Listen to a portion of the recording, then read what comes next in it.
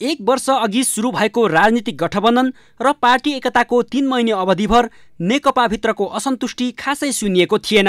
अध्यक्षद्वय केपी शर्मा ओली र पुष्पकमल दाहालको आपसी समझदारीमै सबै विषय मिल्दै गएको थियो।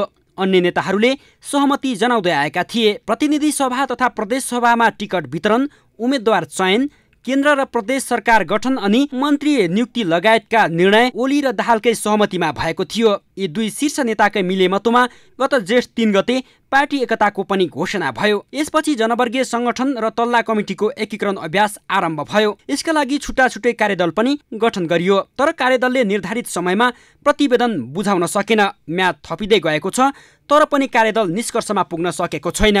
जसले अहिलेसम्म पनि केन्द्रमा एक भएको नेकपा स्थानीय तहसम्मै दुई कार्यालय र दुई नेतृत्वमा चलिरहेको छ। यसको प्रष्ट कारण भने नेकपा भित्र रहेका प्रभावशाली नेताहरू अहिले सक्रिय हुनु हो। अर्थात् अध्यक्षद्वयको कार्यशैली र निर्णयप्रति अन्य प्रभावशाली नेताहरूले तीव्र असन्तुष्टि जनाउन थालेका छन्। विशेष गरी जनवर्गीय संगठन र जिल्लाको नेतृत्वमा पार्टीभित्रका शक्ति केन्द्रहरूले अडान लिएपछि एकता अभियान लम्बिँदै गएको छ। तत्कालीन माओवादी केन्द्र भन्दा पनि नेकपा एमाले भित्रको असन्तुष्टिले एकता प्रक्रिया अवरुद्ध हुँदै आएको छ।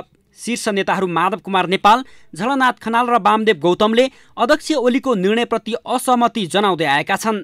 अध्यक्ष ओलीले पेलेर जान खोजेको भन्दै नेताहरू खनाल र नेपालले त खुलेरै असहमति जनाइसकेका छन्। यता तत्कालीन माओवादी केन्द्रभित्र पनि पुनः सहमति छैन। विभिन्न छ घटकको एकताबाट बनेको माओवादी केन्द्रका प्रभावशाली नेताहरूले पनि आफ्नो भाग खोजिरहेका छन्। पार्टी प्रवक्ताबाट राजीनामा घोषणा गरेर नारायण काजी श्रेष्ठले त्यसको झल्को पनि दिइसकेका छन्। जसले गर्दा बाइस मध्ये धेरैजसो जनसङ्गठनको प्रतिवेदन तयार हुन सकेको छैन। विशेष गरी युवा र विद्यार्थीको सङ्गठनमा बढी विवाद छ।